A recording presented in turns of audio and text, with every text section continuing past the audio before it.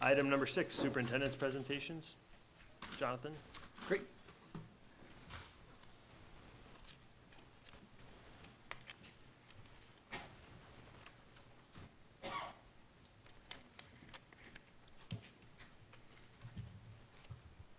All right. Thank you, Board, for allowing us to highlight a few um, items tonight that, um, part of the work that we're doing in our district.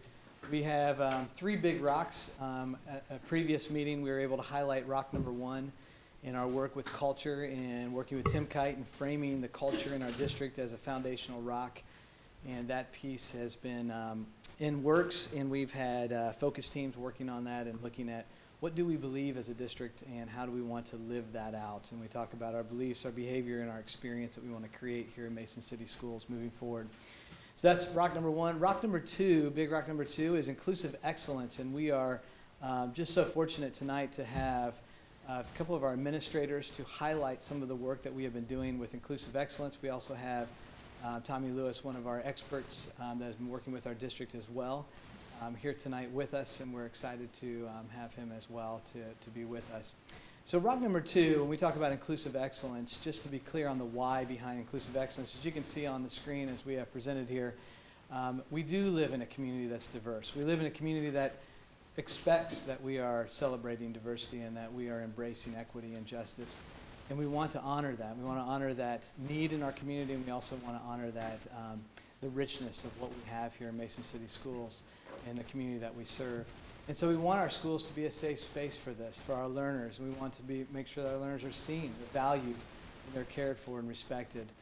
Um, so that's part of the why behind the work. And this is, we call these the three big rocks because the three big rocks are not going anywhere.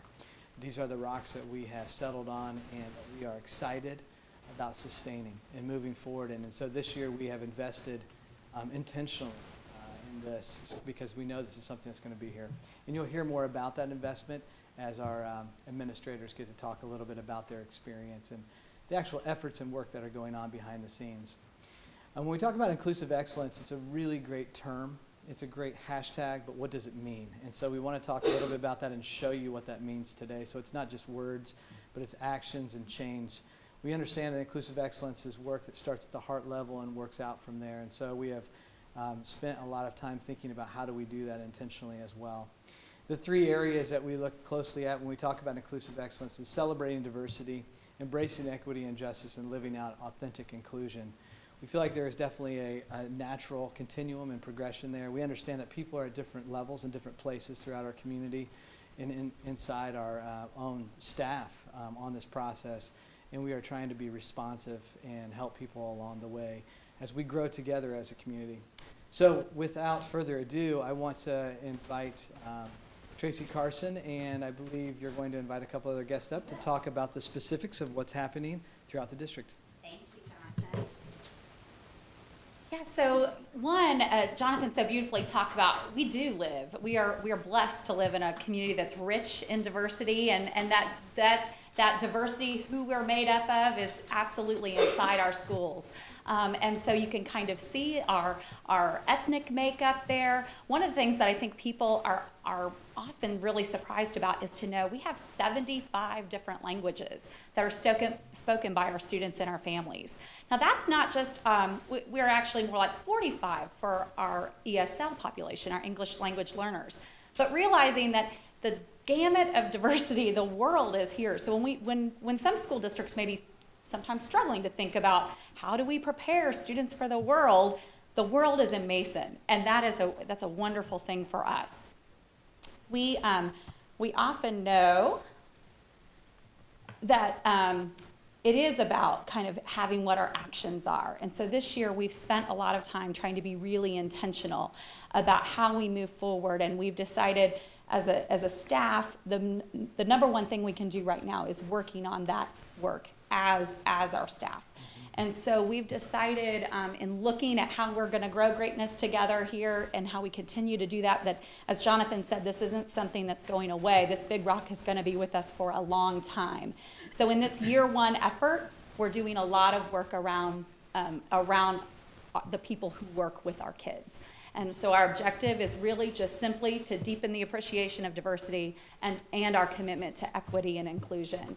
Um, and so these are some of the things that we're going to be measuring, and that we know that we've shared that with our board, um, and that you all have been en- engaged in that, looking at that conversation and say, what, what is it that we're going to hold ourselves accountable to? And so some of those things include um, having all of our staff, every single staff member receive um, at least three hours of kind of deep equity and inclusion work that includes um, kind of a full picture of the dimensions of diversity and also uh, diving into kind of understanding what microaggressions are as well. Looking at doing some measurement work on watching how our staff demonstrates greater understanding of different backgrounds, um, increasing our staff from underrepresented groups, and making sure um, that we're also looking at our own students' data. And we have seen gaps between the way that, for example, our Asian and white students have felt about feeling welcome at school and our black students who felt welcome at school. And we want to see that close. We want everyone to know that they're welcome and valued in Mason. And so, as a part of that, we have been so blessed to have Tommie Lewis with us. Um, you all have received uh, some of the um, training from Tommie as he has had uh, upwards of you know hundreds and hundreds of our staff members that he's already trained. But I think um, the wonderful thing with, with Tommie and his kind of approach is that he's not new. He's not new to Mason. Um, Tommie started on this journey with us in Mason with our diversity council back in 2004, and it's just been just such a joy to have him kind of helping lead all of us through this work, um, to have kind of someone of his caliber. And so I'll just let him kind of tell a little bit about what he's seen. Again, thank you for allowing me to share with you all, Board. Um, I, I would like to offer up that uh, of my work and my company's work, Make It Plain Consulting, we see that uh, Mason City Schools is ahead of the, ahead of the curve in Ohio with regards to its intention uh, to not only ensure that staff, administration is aware of their own uh, biases, unconscious or conscious, uh, but educated in the space of diversity and inclusion. Uh, This is not a path that you can learn through osmosis, unfortunately. Uh, This is, has to be an intentional effort. And so, uh, one of the things that we've been doing, obviously, with training the staff is to allow them a safe space amongst peers, uh, amongst some other thought leaders and subject matter experts to explore the concepts of equity, diversity, and inclusion, i.e., inclusive excellence. And then uh, also build some strategies, not only individual strategies, but organizational strategies that will meet the needs of the current students and future students.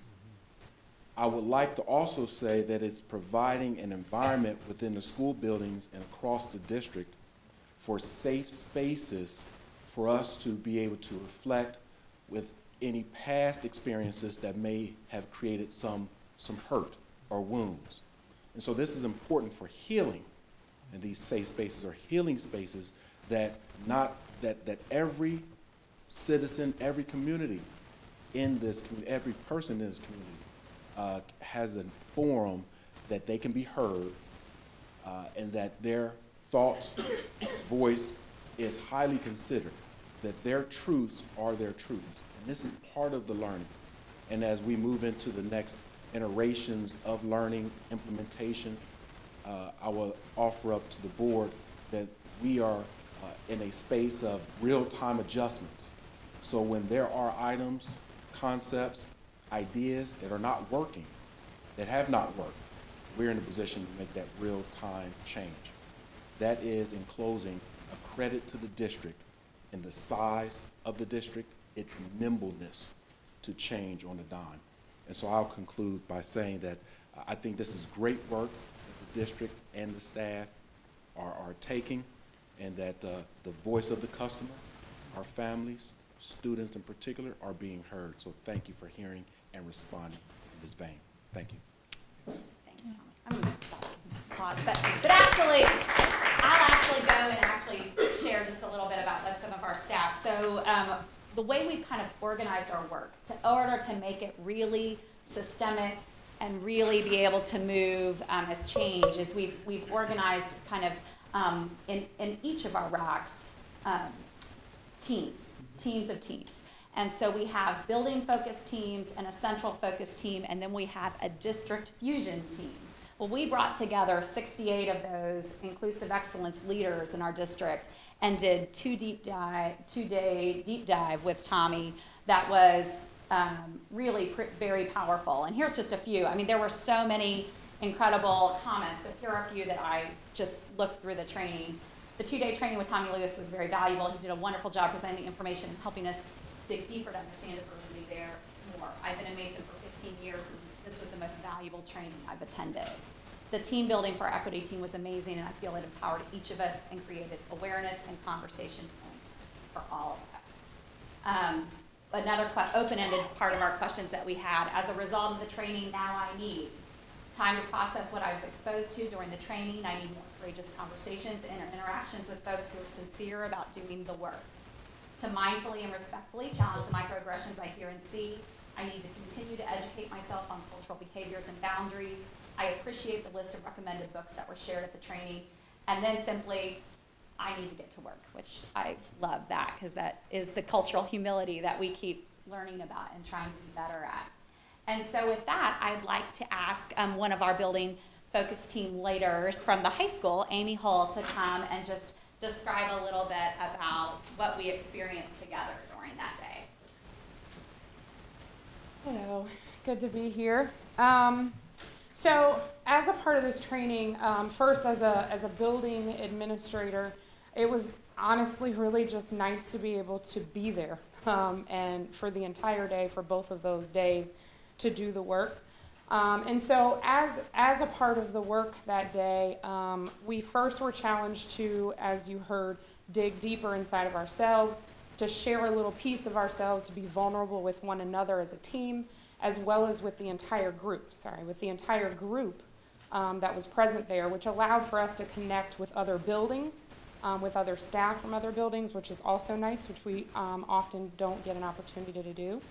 Um, but what was even more important um, from an administrative perspective was the time that we were able to have to spin together to to allow some of that creativity to flow. Um, you know, so often we are, you know, we're we're seeing what's happening and we're seeing, um, you know, some of the issues and the problems that are coming up.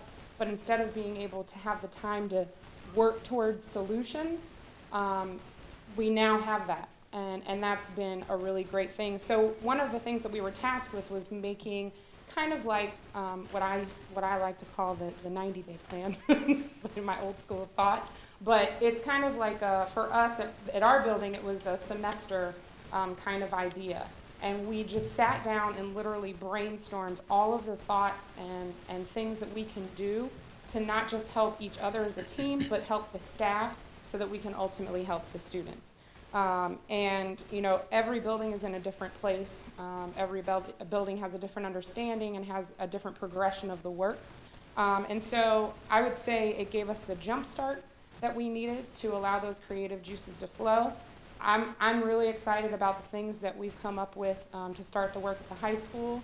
Um, you know, you can be the first to know. We're, we're thinking about a newsletter every month um, that will highlight a specific staff member's personal story um, so that there's relevance with the subject matter in the newsletter um, that will be culturally appropriate to that particular um, item.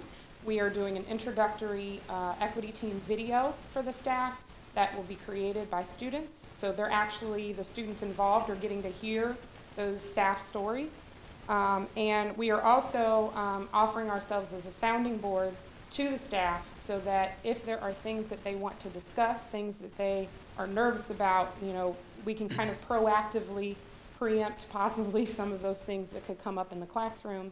Um, and then the other um, part that we are, are, also very excited about um, is, um, I just lost it, um, is just building on the relationship with the team together. Um, and so we're, we're meeting regularly. We've decided to meet off-site, which is nice, um, and, and get to know one another and really reach out and um, hit all of those things. I will say personally, for me, it has allowed me to build on a passion of mine. Um, I'm, I'm very passionate about this topic, about this work, um, because celebrating acceptance of all people is so important, whether it is religious, um, racial, ethnic, sexual orientation, all of those things are so important because it, it impacts the health and the safety of our students. Um, and so that, for me, has been a very important part of the work, um, and I'm happy that we're moving. Thank you. Thanks, So um, next, I'd like to ask Eric Messer to come up. One of those things, again, just to reiterate, so those teams of, uh, we've had two days of training with the, with our focus teams. We'll have another two full days that we're investing in to kind of, Tommie investing in us and his team to have us be leaders so that we're continuing to train and learn. And with that, I'd love to have Eric just give us a little um, perspective.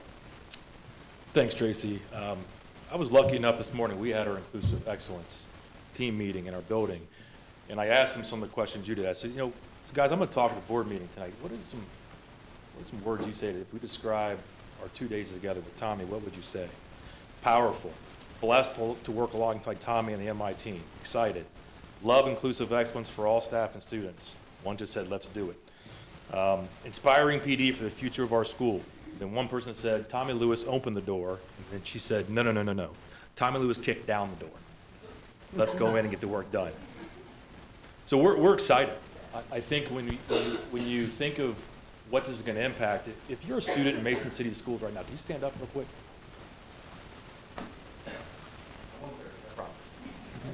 So someone asked me, well, why do you do this work? Right there. Right there. That is why we do this work. Um, I've worked here for 22 years. I'm the old man now. It's kind of amazing to me that I'm the, I'm the old, you guys can sit back down, I'm sorry. I've worked here for 22 years now. I started um, in this district as a student teacher, and then I was a paraprofessional. I was a fifth grade teacher. I've, I've taught. Um, I was a principal at Mason Heights, closed Mason Heights, Western Row, and MI. And I've seen a lot of changes throughout the years in our district. Uh, I'm, I'm very, very excited for this work. And I think of, when we think of what Tim Kite has kind of talked to us about, E plus R equals O. Your event plus your response equals your outcome. But we have to change our response to get a different outcome. And that's what I view this as doing. I think of inclusive excellence, we're changing our response for our kids and for our staff. Um, We're very excited to start planning uh, PD for our staff. We planned the hour and a half this morning that we have on October 15th. Uh, We're excited for the, we have more train- training in in November as well. And uh, it it can't get any better. You know, I think when the kids are walking in our door, we have a huge influence on our kids and their thoughts and their beliefs and, and how the day's gonna go. You know, when I see up there, I, I saw the stat that, you know, we're trying to close that gap on kids feeling welcome. That breaks my heart. So, this, this is powerful work for all of us to make sure kids feel welcome, walk into our schools on a daily basis, walk into our classrooms on a daily basis. How's a kid feel welcome? I think back to last year, we, um, we worked with a group of our, of our parents and we had some, they bought us some, some books, that had some Muslim, um, characters in it. A little kid walked up to me and said, Mr. Messer, there's a kid that looks like me in this book. He was so excited. And it just, and it, as a principal, it's like, ah, we need more of that. And so we can, we can continue to work on this, get more and more um, books in our, in our classrooms, and that's some things we're looking at. You know, at MI, we talked about, our, our motto at MI is, is MI strong? And I would tell you with, with inclusive excellence, it will be MI is stronger. So thank you for your time today. Appreciate it. Thank you.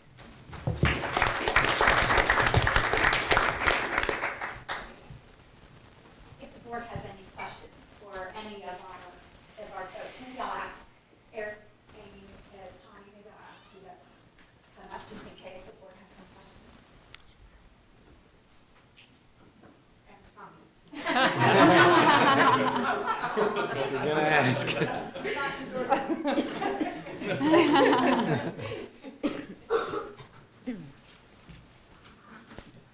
I'll go first since I uh, usually get the short end of the stick. But um, you know, we're here, and obviously, this is there's there's a lot of energy in this room right now, and there's a lot of excitement I hear from from you all. But um, you know, this is not obviously the first time we have heard about this training and this program. We we've been excited to hear the progress since it's began, since the summer and um, early stages of it, and you know, so, some of the excitement comes from, you know, uh, Tracey said something about how do we prepare students for the world? Well, the, the world is in Mason. And that's the good parts and, and the bad parts sometimes. And I know that this, this training has included, you know, some, some tough conversations for you all. And I guess I just want to say thanks to especially Eric and Amy, but also Tommie for, um, you know, kind of leading and guiding our buildings through those real and tough conversations at times with our staff because, you know, if, if you just keep it all at the surface level and you're just kind of, you know, smiling and holding hands and patting each other on the back, we're, we're not learning and we're not growing. And, um, you know, I just want to say thanks for, for doing that because I know that that can be tough at times, you know, when you have people that you've known for years and maybe you thought you knew them and they share something that, you know, you didn't realize they felt that way or something, that, that can be a tough, you know, test of those relationships you had a long time building up. I was, I, I have a comment also, um, um, particularly your comment, Tommie, about you can't learn this through osmosis. Um, and I think what I'm hearing, at least what I experienced in your discussion with us, is that, um, this is work where you can't see what you don't know what to, to look for. And you've done a very good job of trying to, you know, lay out what to look for and be conscious about when you're talking to someone, evaluating something, making a decision. Um, like I said, you, you, you can't see it if you're not shown what to look for. So thank you.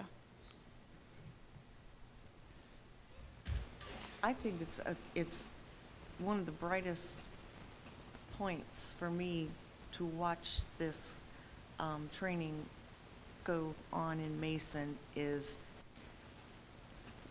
educators educate children. That's a common thought. It's, a- it's an obvious, but I think it's really great for our students to see that the adults teaching them are also still learning and making a deliberate effort to learn something new or to learn how to do something better.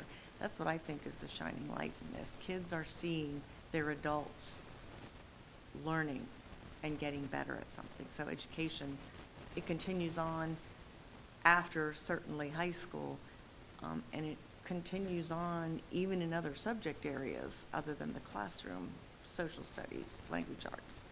So that's, that's what I think is great about this. You know, I, one of the most frustrating things about being on the school board is that you see things that you want to change and, and you uh, immediately find yourself very limited in, in what you can do individually. So, um, the one thing that we all do, one of the very few things actually, is we, um, is we hire and support our superintendent. And so, I just want to make a, a point that the three of you wouldn't be up here right now without the tone being set by our leader in the district. And I want to thank Jonathan for setting that tone on a fast pace, getting up to speed. I know I've told you to pace yourself, but in this case, you're, uh, you're doing a great job. And we thank you for making this available for all of our teachers, all of our, our students, and then eventually our community to engage in. And so, thank you for that. And, and just as a side note, you're still a kid, Eric. You you don't get to be the old man yet, so. Experience, I guess. Yeah, sorry Tracey made you come up, because we don't really have questions, because we've been, we've been engaged in, in talking about this. Obviously, Tommie, we've met with you, and we can't wait to finish up that, that session. We're talking about dates now, we're st- so looking forward to spending more time with you, ourselves as a board. Um, so, it's really more comments than questions, but, but I just to echo that about Jonathan, um, and the administrative team for, for recognizing and, and for our community helping us, you know, see how, how important it was to focus on this as a piece of something that is at the core of what we are doing here. And so, I mean, it, it is important unto itself, but it's also a part of the core of the other things that we're doing. We talk about personalized learning. We talk about kids wanting to feel safe and safe, welcomed, valued um, as learners here you can't do that unless you understand what their experience is as a human being and can empathize with that experience and, and live in that experience with them on a day-to-day basis. Um, and, and thanks to the administrative team for, for, for being humble enough to know that we, we didn't have the tools to be able to just kind of figure this out on our own. Um, and so uh, it's, it's great that we've, um, enlisted Tommie's help and, uh, I mean, from everything we've seen, um, you've been knocking it out of the park and we appreciate, um, what you're doing for us, for sure. So, again, no questions, but just excitement and, a- and a, an enthusiastic thumbs up from us. Normally, we have backpacks to give them, don't we? Yeah. We do. Could I just make one comment really quickly? I just, um, and I, thank you for even just recognizing, but I I have to recognize the team. These things don't happen. Jonathan is one person that runs around, and thank you, but our team with Heather and Todd and Sean and Tracey and the rest of the executive team, pulling this off is not easy. There's a lot of logistics when you say we're going to train all. Anytime we say all, it takes a lot of work and a lot of logistics behind the scenes. So I just want to recognize all the players involved and Lena Patel right here just doing the great work that she's doing to help us stay on target as our uh, project manager and all of our administrators. This has not happened without our principals. There are three words that just came to mind as I was listening. One is this idea of a spirit of humility. There's definitely a spirit of humility, and Tommie has taught us that, and our teachers have embraced that, and it's been great to see that. And then there's a posture of healing and hope. And I think that's something that I've really taken away from the training, but also conversations listening to Amy talk tonight and Eric talk about their staff. There is a excitement about the work and moving forward for our students' sake. So I just had to, yeah, I couldn't be quiet, I'm sorry. That's awesome. Appreciate it. Thanks, Jonathan.